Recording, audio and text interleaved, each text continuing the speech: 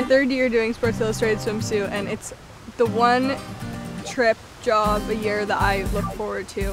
Um, not only because of the people that I get to work with, but it's always fun to kind of see the next adventure that you get to take on with Sports Illustrated swimsuit. Look at this angle, beautiful girl. When I got the call this year that I was shooting with Yu Tsai in Tahiti, it was just perfect. Like there was nothing else that I could ask for. It's a team that I know is going to give good energy, which I think is really important.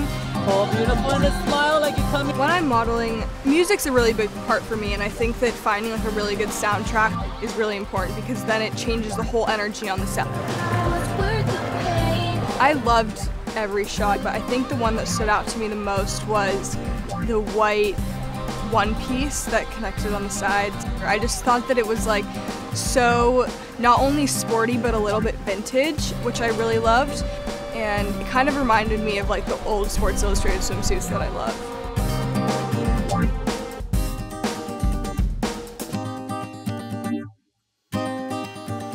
I grew up a very competitive athlete and I think that I want to be the best. So like for me, I'm really hard on myself and I feel sometimes like when I don't get the shot perfect, then I get hard on myself.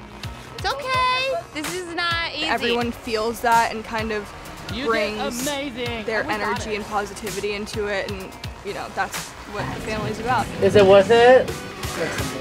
It looks better than it felt. Beautiful eating. We got a smile. Oh my god, it's so good. It's so good. It's so good, you guys. You kind of had to be here to feel the energy of how much everyone felt that magic moment. And there was just nothing wrong with it. And I think that's why, like, I was like, I have to get this right. I have to get it right. That's what we call perfection.